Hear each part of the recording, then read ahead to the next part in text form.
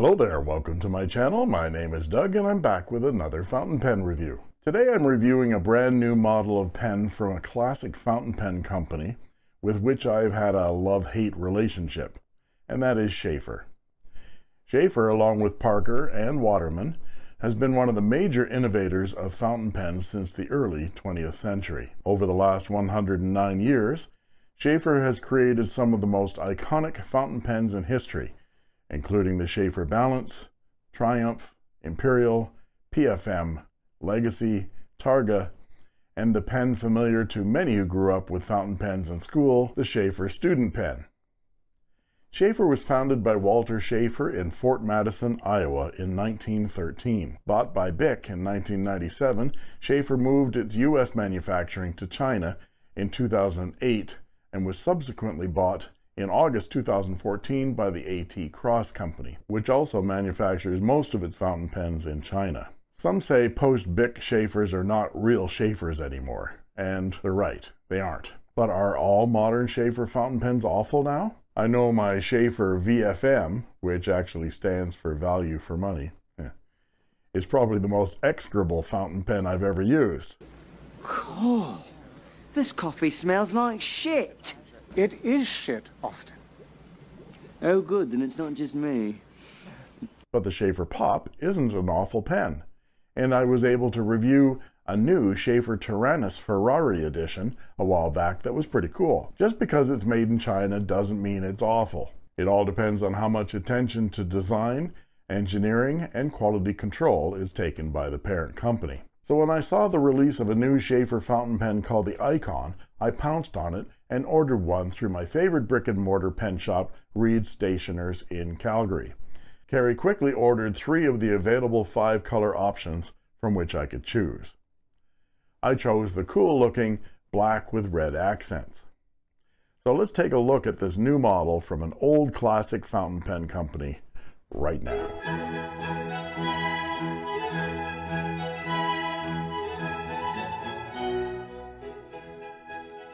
I just got back from my favorite brick and mortar pen shop, Reid Stationers on 17th Avenue in Calgary, because they informed me that a pen I ordered was in, so I went down to pick it up. And that pen is a new Sheaffer, something new from Sheaffer. It is called the Sheaffer Icon. And when this first came out, I saw it, I think, on Facebook. I called Carrie at Reid's and asked her about the Sheaffer Icon and uh, she hadn't heard of it before but put in an order for me and uh, bought some for the store as well. I did review a Sheaffer Taranis for a friend uh, about a year and a half ago or so and that was an interesting pen. But I was expecting some kind of uh, rebranded Chinese uh, plasticky kind of a thing. And um, let's see what we get. It's in this Sheaffer box with a sleeve and it says it's a Sheaffer icon. So let's take this sleeve off. And we have a nice cardboard box with the Sheaffer and the white dot, established 1913. But of course, when you look on the back of the box, you see it's made in China. That could be good, that could be bad. We don't know. Let's take the top off. And we have a little plastic top to that. And there's the pen. Well, let's take the pen out for a second. And here's our use and care guide. A couple of Sheaffer cartridges, one in black, one in blue, and our use and care lifetime warranty. That's what the white dot used to mean, was a lifetime warranty. So a refilling guide. And of course, Sheaffer is now owned by the AT Cross Company. So that's nice to know. It's lifetime warranty. And let's look at the fountain pen. So when I first picked this pen up in the store, I was immediately struck by the heft of the pen and the solid nature of the pen. I was expecting something Chinese and cheap, and what I've got is, yes, it's a lacquered metal pen, so it does have some weight to it, but everything about it from the outside seems to be well made and it's got a nice girth to it. I also mentioned that I uh, reviewed the Taranis uh, about a year and a half ago.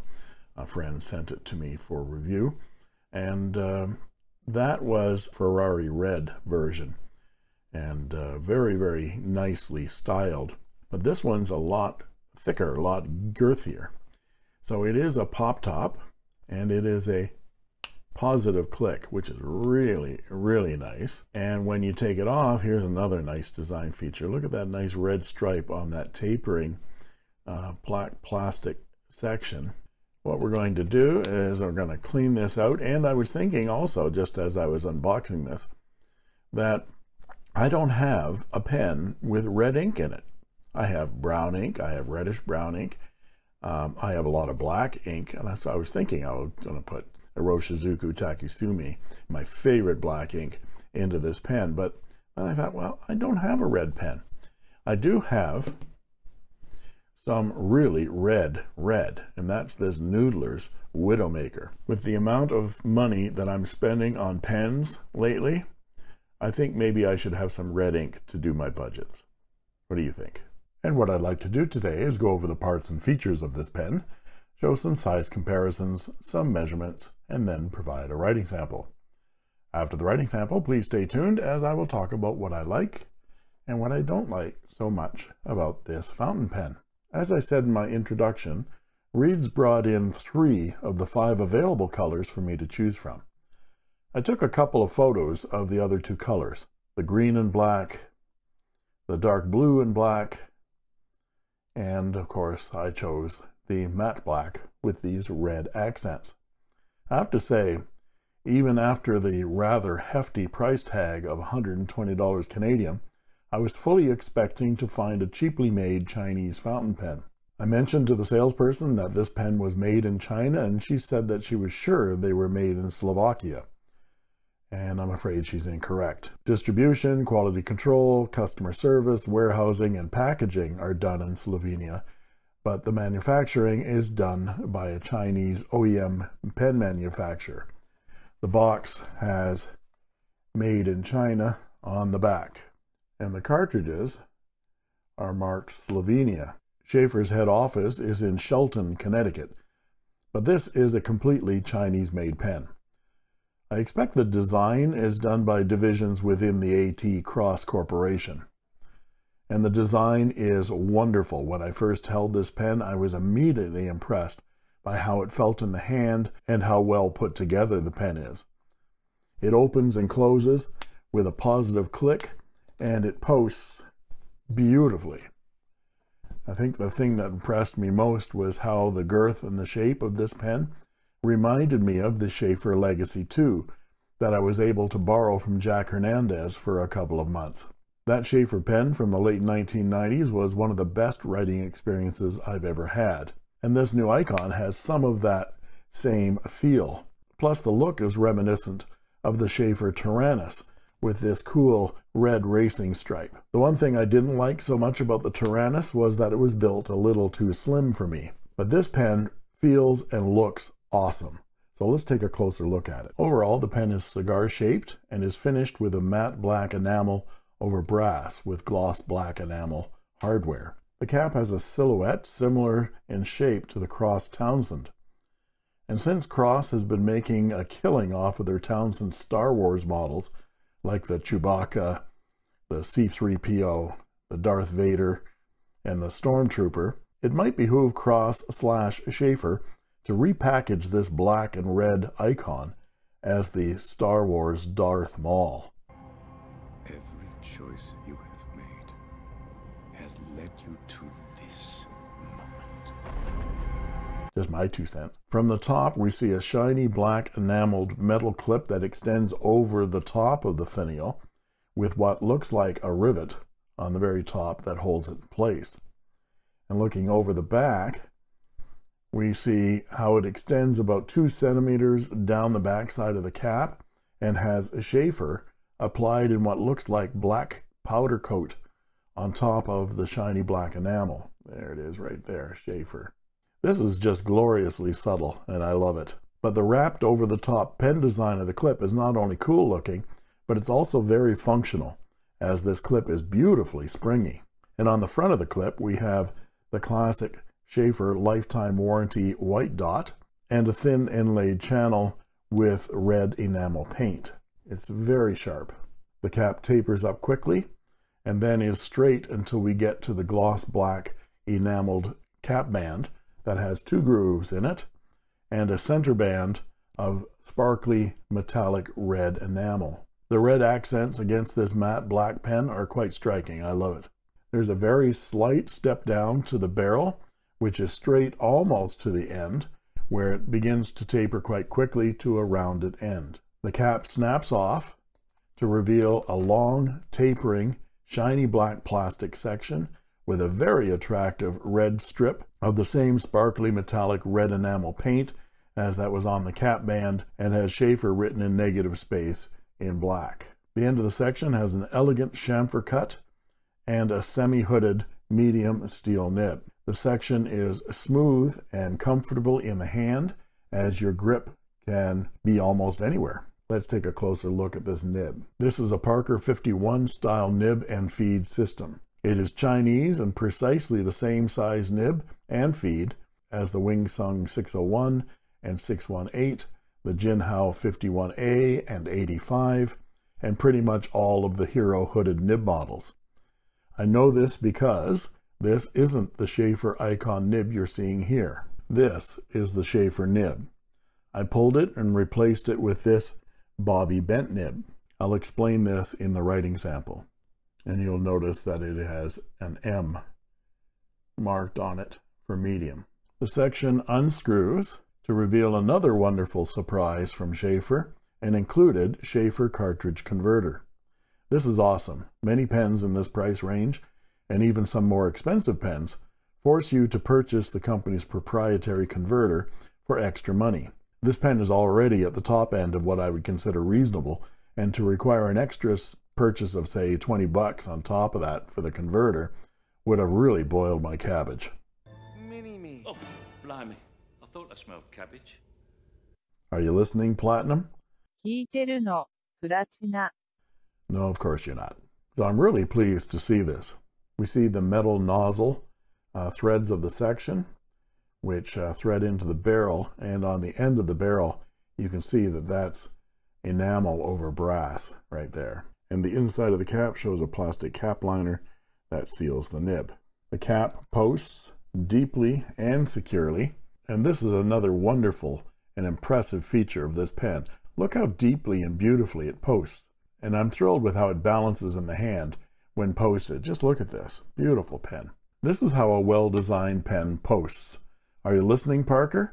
Because you designed probably the best posting pen in history, and then when reinventing your Parker 51, you came up with this. I mean, what the hell is that? What the hell's that? Parker. Someone at Sheaffer slash Cross knows what they're doing. To a point. I have a huge caveat coming up. Unposted, the pen is still plenty long enough to write with comfortably. The pen is substantial in the hand. It's not heavy, even though it weighs in at a full 43 grams, but it feels substantial. So 43 grams sounds heavy, and it is, but it's all in how that weight is distributed. And the way this pen balances makes the pen feel very comfortable and yet hefty at the same time. And let's talk about aesthetics uh, with the pen posted. How beautiful is the design of this pen in the hand when it is posted. Just some really lovely lines and curves. Beautiful. Full marks to the Icon Design team. I bought this pen from Reid Stationers in Calgary for $120 Canadian, which is around $95 US, depending on which foreign exchange crook you use. A week later, they come back, said the check had bounced, and that I had to see Doug. Doug? Doug. It's available in five finishes black with red, green with black, blue with black, red with black, and polished chrome with black and red accents. It's also available as a ballpoint and a roller ball. Now let's look at some size comparisons. And here is the Sheaffer icon with a Platinum Plaisir, a Cross Calais, a Faber-Castell Loom, and a Parker Sonnet. Now let's look at them posted. And here they are posted. They all post rather deeply and securely. Uh, the Sonnet and the Icon seem to be the best at it. The loom isn't bad, but that cap is a little back weighted. But the cross, that's not secure at all, and that uh, shiny chrome cap falls off uh, when you least expect it. Now let's look at some measurements, and I'll be back with a writing sample.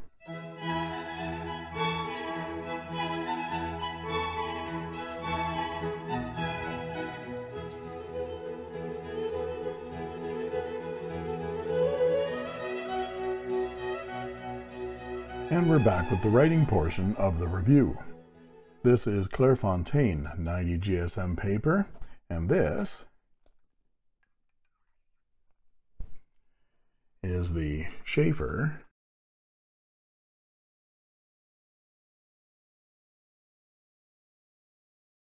icon. And this is not the original nib, as I replaced it with a Bobby bent nib, which is actually like a mini Fude nib. So yes, I replaced the nib, but never fear, I have the writing sample I did immediately after inking this pen. And here it is. You see I'm using Noodler's Widowmaker red ink, and here are some close matches to this ink from inkswatch.com. I'm finding the ink a little dry and probably more red than I care for, so I might be swapping it out for Diamine Oxblood soon. As you can see from my writing samples here, this nib that is marked with an M for medium is very, very far from being medium in any part of the world. This is an extra fine nib, and it measures out at 0.3 millimeters, which is an extra, extra fine by Western nib standards, and a Japanese extra fine to fine the nib had a lot of feedback to the point it felt a bit scratchy and was very, very stiff. A classic Chinese steel hooded nib. I'm stumped by how this extra fine nib could be stamped medium at all. I knew I couldn't write with this nib, so I pulled it out and put in a Bobby Bent nib. I have Bobby Bent nibs in some of my very favorite pens, including my Wing Sung 601 Flighter and my Moonman TI 200 titanium. And this is how I pulled the nib on this pen. And look away if you were at all squeamish. What's that? That whirly thing coming through his stomach? What is it? I don't look. It's only a hose. It's for you. Who is it? The gardener. I didn't even attempt to get this hood off. There's no way I would want to damage this beautiful $120 pen. But the nib is the cheapest part of this pen, so more on that later. I took my toenail clippers and placed a small bit of rubber elastic over the nib and took my clippers and put them on the nib so that it was oriented like this and clamped down lightly and just pulled straight out. And then I took the pulled nib and slipped it onto that feed until I could push it no more, set it down on a soft surface and pushed it the rest of the way down against that piece of a rubber elastic. It took about 15 seconds. Presto changeo. Presto! Well, I'm getting close. So let's continue with the writing sample. Of course, this ink is Noodler's Widowmaker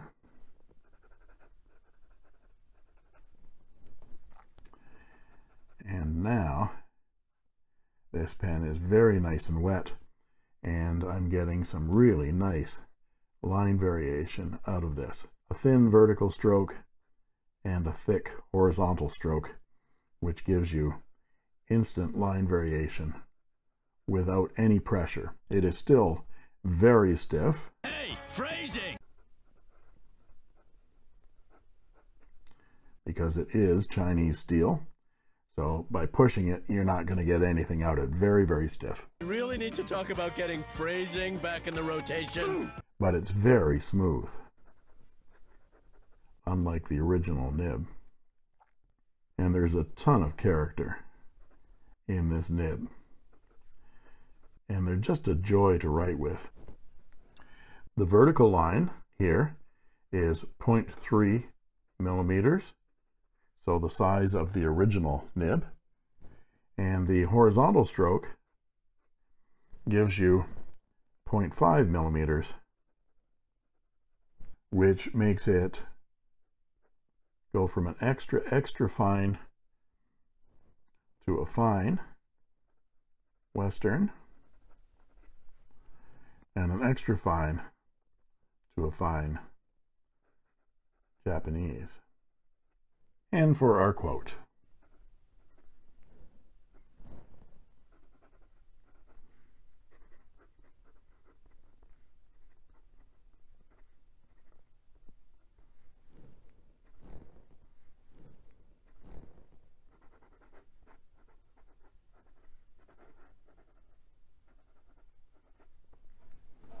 And for some reverse writing. It's a little bit more scratchy, but and a lot drier, but very, very fine now. And it started to dry up. And some quick writing.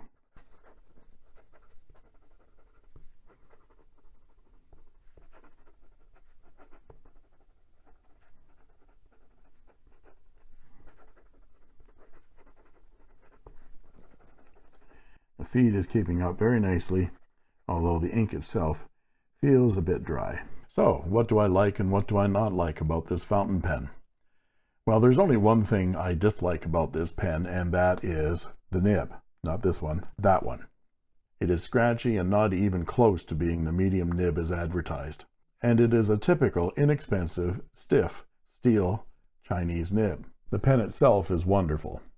I love the design, the color combinations, the balance and the weight, the sleek lines, and especially the way it feels in my hand posted and unposted, but especially posted. This pen caps and uncaps beautifully and posts as nicely as the classic Parker 51. It's a bit pricey for a Chinese-made non-gold nibbed pen at $120 Canadian, but I'll overlook that because of the excellent attention to form and function. In other words, excellent design and engineering. Except for the nib. If I had to live with the original nib, I would be returning this pen to Reid's for a full refund. However, the easy way in which I was able to pull the nib and replace it with a nib that costs less than $2 US to make this pen write beautifully with wet, smooth lines that have lots of character redeems the entire pen in my mind. And that also infuriates me. And if I was part of the design team that created this beautiful pen, I'd be hopping mad as well. How dare Sheaffer US or Sheaffer Slovakia or Sheaffer China allow this incredibly subpar nib to get anywhere near this fountain pen? Them's fighting words. Them's fighting words. I blame Slovakia. No, blame Canada! Blame Canada! They're not even a real country anyway. Because they are in charge of quality control. How does a pen marked with an M for medium on the nib and on the package get out of quality control writing a scratchy 0.3 millimeter line? If your Sheaffer icon comes with a nib that writes the line thickness advertised and is smooth and wet out of the box, then you have a great pen on your hands. If you get one like this one, either send it back or do just what I did. Buy a pack of four Bobby Bent nibs for $7.50 US and slip this nib off and push that one on. I'd say it's worth it. I wouldn't worry about wrecking the nib. It's only 87 cents to replace and took me less than 15 seconds. And to cross slash Sheaffer, you named one of your most classic and beautiful pens the PFM, Pen for Men. Then you named one of your most awful pens, certainly in my mind, the VFM, or Value for Money. You should have named the PFM the PFA, Pen for All, and the VFM the PFB, Pen for Bin, as this one belongs in the bin. Get out. And then I suggest you rename the icon the PFC, Pen for Crap, because with this nib, that's what it is. It makes the whole pen crap. You a clap! But I've made this into a PFD, a pen for Doug. Doug. Doug. I've seen grown men pull their own heads off rather than see Doug. Even Dinsdale was frightened at that. What did he do? He used sarcasm. by swapping the nib and making it now one of my favorite pens. So, isn't it instructive to you how very important the nib is in the overall pen experience for fountain pen users? Maybe your next model will be the VIN, very important nib. That would be great. It is where the rubber hits the road, folks. And there you have it. If you like this video, please like and subscribe and ring that bell to get instant notifications whenever a new video is posted. And don't forget that you can join as a member of my channel for only 99 cents a month, and I guarantee I will answer all your comments in the comment section, and you get cool emojis and badges too. And that just leaves it for me to say thank you for watching. And that's all she wrote.